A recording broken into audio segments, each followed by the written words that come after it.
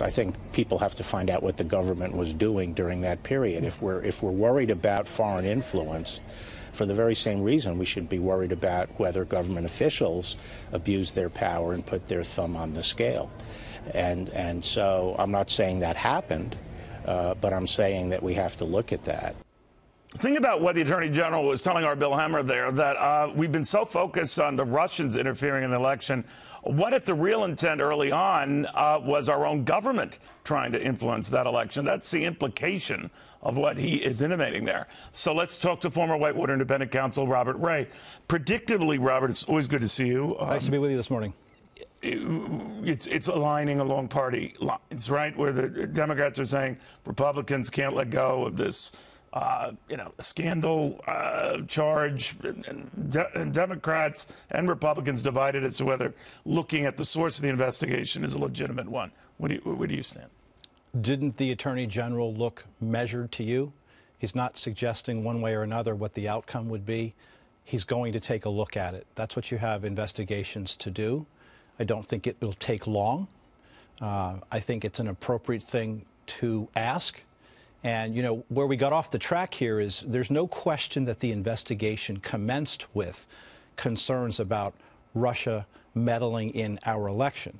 The difficulty, though, and the one that he's looking into, which I think does deserve focus, is once that investigation commenced, where did it start to shift and to the point where the investigation turned toward investigating the Trump campaign?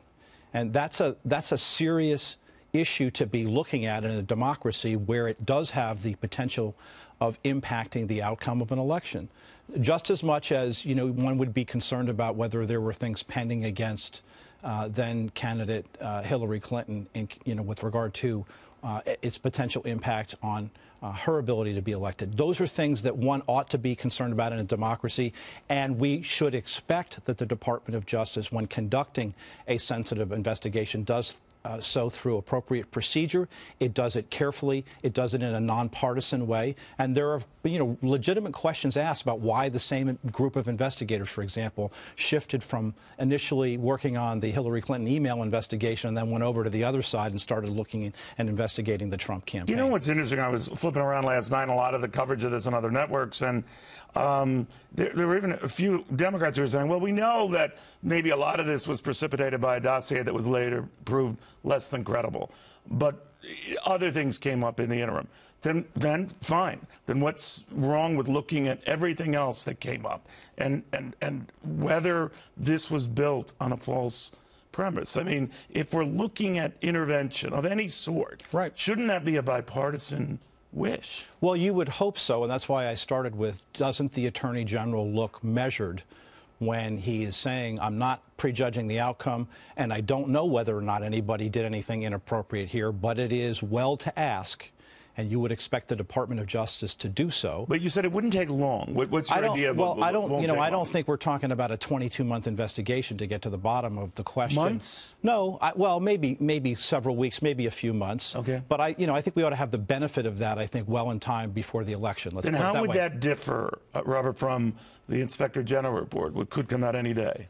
Well, understand that the Inspector General's report, of course, is a review internally of Department of Justice employees and really only has the authority to refer for disciplinary action or to refer to uh, the Department of Justice leadership the question of prosecution. So the IG, the Inspector General, Michael Horowitz, is a fact gatherer, but he doesn't have prosecutorial authority. I mean, obviously, what Attorney General Barr is talking about, among other things, is determining whether or not anyone should be subject to discipline whether anybody, you know, more significantly should be subject to prosecution for crimes that may have been committed. He can recommend that. Well, uh, the, the inspector general can refer and recommend for prosecution, right. but only the attorney general can decide whether or not to bring a prosecution under those circumstances. But with the lawyer that he picks to, to handle this, he would have prosecutorial okay, authority, so all the authority of the attorney general. So yes. he could follow on the recommendations of the inspector general and decide that the higher threshold of, you know, proof beyond a reasonable doubt and the bringing of a federal prosecution under those circumstances would be warranted. Obviously, that's a significant step.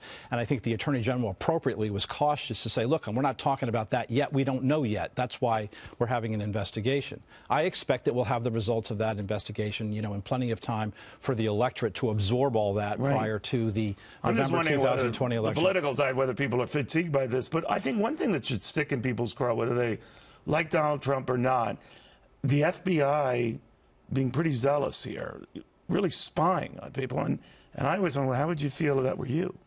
I think people have questions and concerns, particularly when the issue, along with the the obviously significant powers that the FBI carries, whether or not anybody acted in a biased and inappropriate way, as the Attorney General suggested, does somebody try to put the thumb on the scale here in connection with an outcome? That's obviously something that you do not want to happen within the Department of Justice.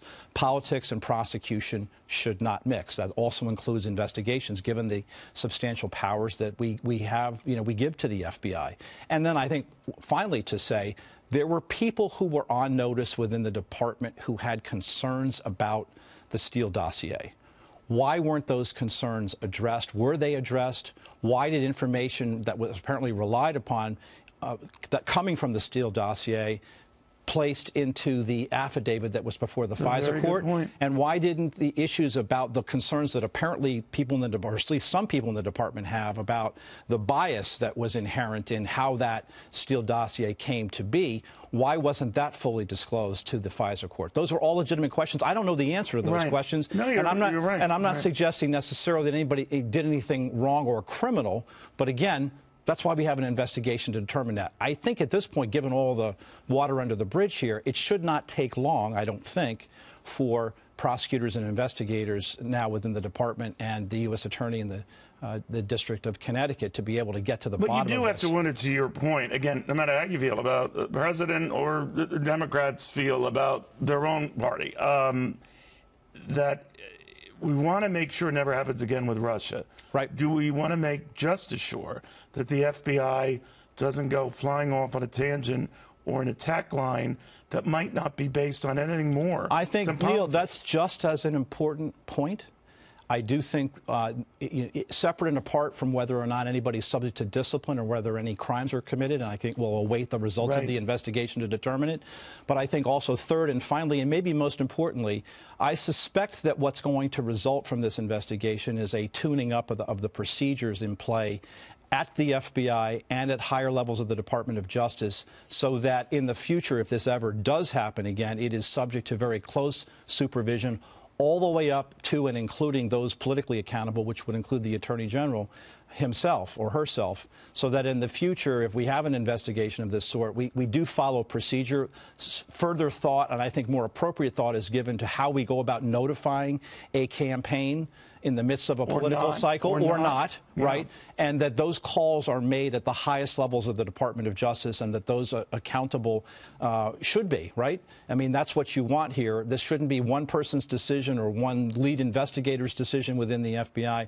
This should brought, be brought to the attention of the highest levels of the Department of Justice. An appropriate call should be made. I, I imagine in the future it's going to require the personal intervention of the Attorney General and a written sign off before something like this happens, and also some understanding about you know what how under what circumstances is a is a campaign notified about the fact that there may be potential infiltration by foreign sources with regard to that ongoing campaign in the middle of an election cycle. This is the largest and, and, and most far reaching investigatory power on the planet, the FBI. Right. And uh, and that's starts, not to say, and there's not to say that that's inappropriate. There are occasions. but if you are basing that even partly on a false premise, don't the American people have a right to know that? I think they do, and, and no one is suggesting that investigations don't work off of leads. Some of those leads don't always pan out or turn out to be true. We don't expect investigators to be clairvoyant and to be perfect. Absolutely. But we do expect them to be responsible. And to cease and desist when you realize that. Right, and, and we also, more importantly, expect them not to be politically motivated when they're making judgments about people's liberty. That's the most important point. But now the irony is the the political view of this is that it's politically biased in reverse. Well, that there's been some damage done to the Right. to- uh, on purpose, I suggest, Absolutely. to the attorney general's reputation, precisely because they're afraid of where this might might lead. Look, that comes with the territory. The attorney general is well able to handle that, but the investigation proceeds He doesn't nonetheless. strike me as a guy who carries anyone's water. He's not going to be cowed by anybody, is my impression of the Attorney General. This is, look, the question for the American people to decide is do you think this is an appropriate investigation? I suggest that you should, and we've explained now, or we've discussed what the reasons why. I mean, the American people ultimately decide, and public sentiment will decide whether this is an appropriate uh, investigatory avenue to pursue. I think it's important. I think, you know, it, it obviously does have the potential Just to leave impact. politics out of it and just say what what what triggered this, what was it warranted, what triggered it, Right. And uh, let the chips fall where they may. And that may was be- the argument for the entire Mueller report itself. That may be difficult to do in the current environment, but it doesn't change that it's the right thing to do, and I think that's what the Attorney General is intending to accomplish here. All right, we'll watch very closely. Robert Ray, thank you coming in on a Saturday, no less, getting all spruced up. All right. Nice to be with you. All right, thank you, my friend. No We better cause. There go.